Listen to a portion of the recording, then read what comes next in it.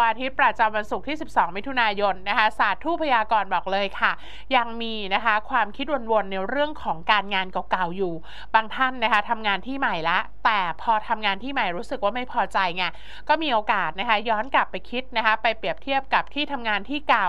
หรือบางท่านทำธุรกิจแล้วนะคะแล้วมีความรู้สึกว่าธุรกิจเนี่ยที่เราออกมาทำเนี่ยมันไม่มั่นคงเท่ากับงานประจำบางท่านก็อาจจะคิดทบทวนนะคะคิดถึงงานประจำเก่าๆได้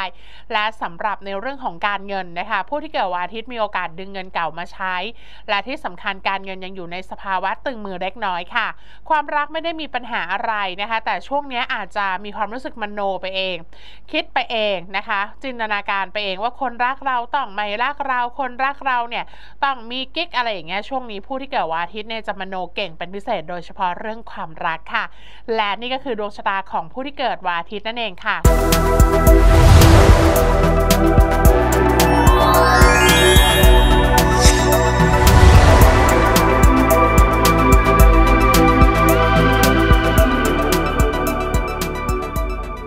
วันศุกร์ที่ 12 มิถุนายน ดวงชะตาของผู้ที่เกิดวันจันทร์ประจำวันศุกร์ที่ 12 มิถุนายนนะคะศาสตร์ทูปพยากรณ์บอกเลย ต้องระวังนะคะคำพูดคำจากับคนอายุมากกว่าผู้หลักผู้ใหญ่โดยเฉพาะเรื่องการงาน คุณถูกเพ่งเล็งอยู่นะคะ และการงานอาจจะมีปัญหาได้นะคะ และแน่นอนค่ะ ในเรื่องของการค้าขายของกินนะคะของใช้ต่างๆ จะค้าขายนะคะด้วยดี แต่ในเรื่องของธุรกิจออนไลน์ ให้ผู้ที่เกิดวันจันทร์นั้น ปรับกลยุทธ์ค่ะ ปรับกลไกในเรื่องธุรกิจสักนิดหนึ่งนะคะ และสำหรับเรื่องการเงินจะเสียเงินเล็กๆน้อยๆเกี่ยวข้องกับตัวคุณเองและคนใกล้ตัวค่ะ และจะมีรายจ่ายนะคะเกี่ยวเนื่องนะคะกับของที่เรานั้นนะคะเขาเรียกว่าไม่ได้อยากจ่ายหรอกแต่อาจจะเป็นเรียกได้ว่าเป็นพวกของใช้ฟุ่มเฟือยต่างๆ ความรักนะคะต้องบอกเลยนะคะ ความรักต่างวัยเกิดขึ้นได้และแน่นอนนะคะ ผู้ที่เกิดวันจันทร์นั้น ก็รู้สึกชอบมันแล้วก็มีความสุขกับมันด้วยค่ะ และนี่ก็คือดวงชะตาของผู้ที่เกิดวันจันทร์นะคะคุณผู้ชมค่ะ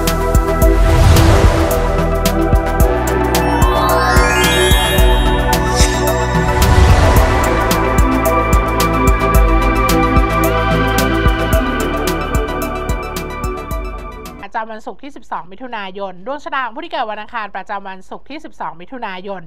ศาสตร์ทุพยากรบอกเลยผู้ที่เกิดวันอังคารนะคะ ช่วงนี้เหนื่อย ตึงมือนะคะ มีความเครียด ปวดเมื่อยตามกล้ามเนื้อนะคะสักนิดหนึ่งนะคะก็อยากให้ผู้ที่เกิดวันอังคารเนี่ยทำใจให้สบาย เรื่องงานทุกคนมีความเครียดทุกคนมีสิ่งที่มันจะต้องประสบพบเจอหมด แต่มันอยู่ที่เราสามารถที่จะก้าวข้ามผ่านไปได้หรือเปล่า การเงินของผู้ที่เกิดวันอังคารถือว่านะคะค่อนข้างที่จะฝืดนิดนึง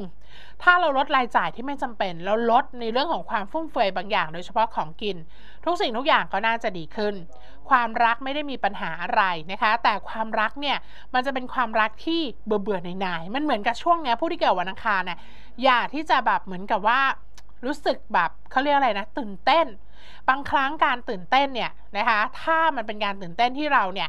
เหมือนกับว่าอยู่กับคู่ของเราก็ดี แต่ถ้าการตื่นเต้นในการมีกิ๊กอย่านะ มีโอกาสที่จะโดนจับได้ และจะเสียความรักดีๆไป และนี่ก็คือดวงชะตาของผู้ที่เกิดวันอังคารค่ะ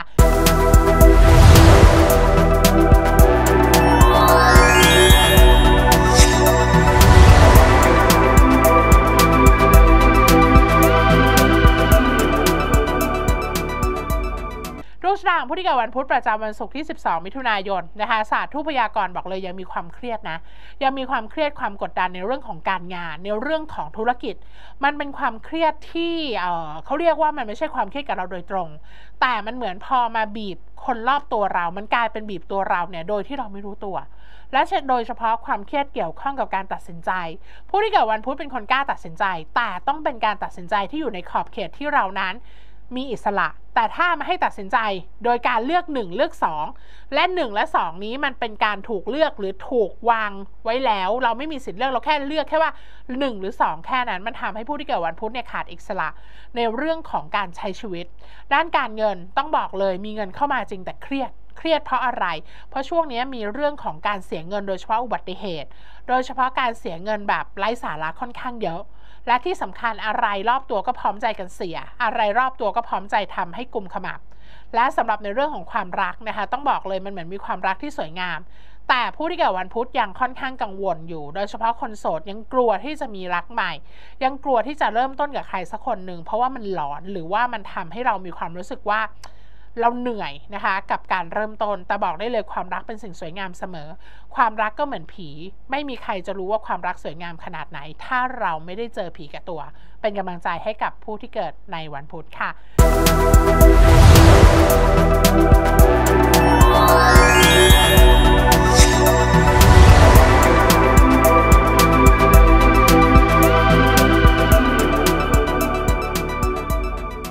วงชะตาของผู้ที่เกิดวันพฤหัสประจำวันศุกร์ที่ 12 มิถุนายนนะคะศาสตร์ทูพยากรณ์บอกเลย ผู้ที่เกิดวันพฤหัสนะคะอาจจะมีการสนใจอย่างใดอย่างหนึ่งเด่นเป็นพิเศษ บางท่านนะคะสนใจในเรื่องของการเรียนรู้นะคะก็จะนะคะอยากที่จะไปเรียนรู้นะคะภาษาต่างๆ เรียนรู้การทำอาหารทำขนมบางท่านสนใจในเรื่องของอะไรบางอย่างนะคะเรื่องการงานเรื่องธุรกิจบางอย่างก็จะทุ่มเท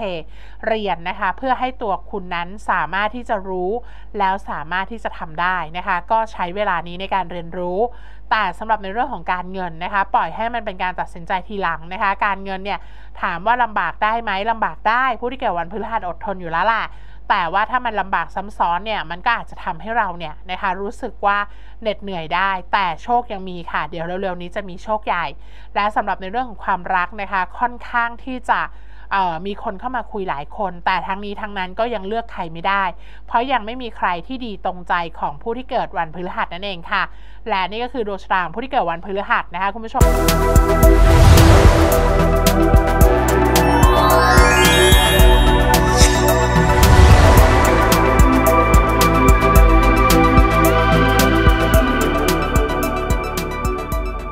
ดวงชะตาของผู้ที่เกิดวันศุกร์ประจำวันศุกร์ที่ 12 มิถุนายนนะคะศาสตร์ทูพยากรณ์บอกเลย อาจจะมีนะคะความไม่สบอารมณ์ในเรื่องของการงานเล็กน้อย โดยเฉพาะตั้งแต่ช่วงบ่ายโมงตรงเป็นต้นไป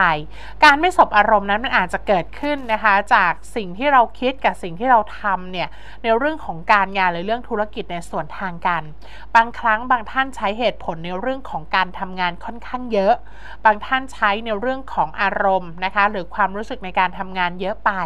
มันเลยทำให้การทำงานของคุณนั้นมันยากสำหรับคนรอบตัวของคุณที่ทำงานด้วย ปรับทุกอย่างให้สมดุลนะคะ แล้วผู้ที่เกิดวันศุกร์สามารถที่จะผ่านเรื่องราวต่างๆ ไปได้ และสำหรับในเรื่องของการเงินนะคะ ถือว่าไหลลื่นคล่องตัวดีค่ะ เงินที่คุณนั้นต้องการนะคะ ก็ยังเข้าไม้เข้ามือเหมือนเดิม ความรักไม่ได้มีปัญหาอะไร แต่ผู้ที่เกิดวันศุกร์เนี่ยต้องหมั่นนะคะ ดูแลเอาใจใส่คนรักให้สม่ำเสมอแบบเสมอต้นเสมอปลายและทุกสิ่งทุกอย่างก็จะออกมาดีอย่างที่คุณนั้นคาดหวังไว้ค่ะ Thank you.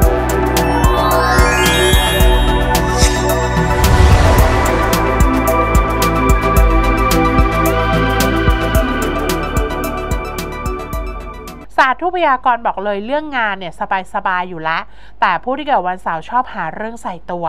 บางท่านนะคะก็คืองานของเราเราทำให้เสร็จเป็นพอตรวจทาน ใส่ความละเอียด แต่หลายท่านเนี่ยนะคะมีน้ำใจเอื้อเฟื้อเผื่อแผ่ไปช่วยเหลือคนรอบข้าง และหลายครั้งเนี่ยบางที พอเราช่วยเหลือคนรอบข้างแล้วเนี่ยมันติดลมก็ต้องช่วยเขาเนี่ยให้สุด มันก็เลยทำให้การงานของเราหรือเวลาของเราเนี่ยนะคะมันถูกลดถอยลงไปทำให้การงานของเรานั้นอาจจะขาดซึ่งความละเอียดหรือทำงานแบบเผาๆนะคะ แล้วก็อาจจะทำให้เกิดนะคะความผิดพลาดได้ค่ะ ด้านการเงินนะคะ ต้องบอกเลยผู้ที่เกิดวันเสาร์เนี่ยรัดเข็มขัดตึงสุดค่ะ เพราะว่านะคะการเงินของคุณในช่วงนี้เนี่ยอย่าพยายามไปคิดอะไร อย่าพยายามไปคิดว่าอยากได้โน่นอยากได้นี่อะไรอยู่บนทางสายกลางใช้เงินแบบ พอกินพอใช้นะคะ แล้วจะปลอดภัยกับตัวคุณ และก็สถานการณ์ทางการเงินในอนาคตค่ะและสำหรับในเรื่องของความรักนะคะต้องบอกเลยทำใจให้สบายปล่อยทุกอย่างให้เป็นธรรมชาติ บางทีชีวิตของคนเราเนี่ยมันไม่ได้มีอะไรยากเกินไปในเรื่องของความรักในเรื่องของการใช้ชีวิตแต่บางอย่างนะคะ ถ้าอะไรที่มันปรุงแต่งมากเกินไป มันก็อาจจะทำให้ชีวิตหรือความรักเนี่ยค่อนข้างที่จะยากได้ เป็นกำลังใจให้กับผู้ที่เกิดวันเสาร์ทุกๆท่านค่ะ และนี่ก็คือดวงชะตาของผู้ที่เกิดทั้ง 7 วันนั่นเอง